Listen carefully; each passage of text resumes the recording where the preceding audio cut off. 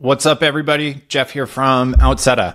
Today, I'm going to show you how you can use a native Webflow form to subscribe people to an email list in Outseta. And the best part of this is it's not just great for things like newsletter signup forms, but you can also use this process to trigger email automations. So let's get started. I'm in Outseta here, and the first thing I've done is I've come to email and lists, and I've created an email list. That is the first step. In this case, my email list is just called the monthly newsletter. And you can see right now, uh, James is already subscribed to this list. Next, I'm going to jump into Webflow, and I need to open up the Outseta Webflow app. I'm going to come here, I'm going to choose Outseta, and I'm going to launch the app. And now you see I have access to all these different tools from Outseta directly in the designer. I'm going to select the actual form on the page and I'm going to click subscribe to email list. I have the option now I can actually insert an Outseta form, but in this case, I want to use a Webflow form. So I'm going to click on the map to Webflow form option. I'm going to choose my email list from Outseta, which is the monthly newsletter and I'm going to choose the Webflow form on the page that I want to work with, which is this email list form.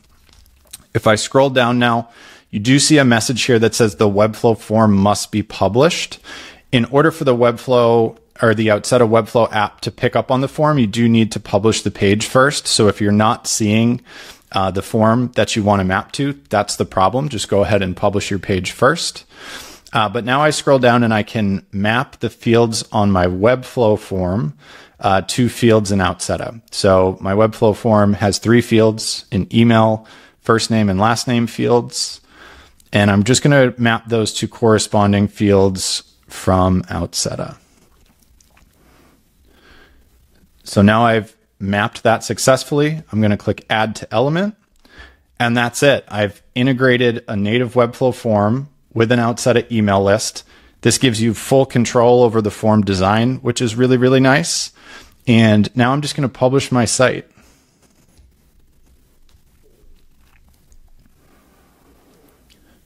While the site publishes, uh, I'm going to jump over to this version of the site, which is live. Just reload the page and we're going to give this a try. So let's say Jeff at outseta.com.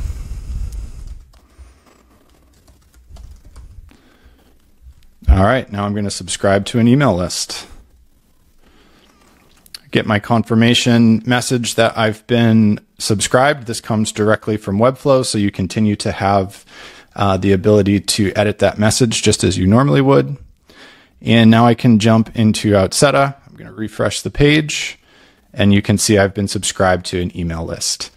That's it. The most exciting part about this, yes, this is great for things like newsletter forms, but you can also use this to trigger email automations. So for example, if I came to email and drip campaigns within Outseta, I could click uh, add a drip campaign, and I'm going to call this my newsletter automation. I click create a drip, and when I'm setting up an automation in Outseta, one of the start conditions can be a person subscribes to a mailing list. And now I can find my monthly newsletter list. So by doing this, I've created an email automation where when someone fills out that form in Webflow, it adds them to an email list in Outseta and then triggers an automation from there. That's it. I do want to go over uh, one other thing that might be important if you're struggling through this process, it's likely because of reCAPTCHA. We recommend that you have reCAPTCHA on any form, whether it's a Webflow form or an Outseta form. So within Outseta, if you come down here to settings and integrations, you can add reCAPTCHA keys to all of your forms uh, within Outseta. If you have set up reCAPTCHA in Outseta, you also need to add reCAPTCHA to your form in Webflow.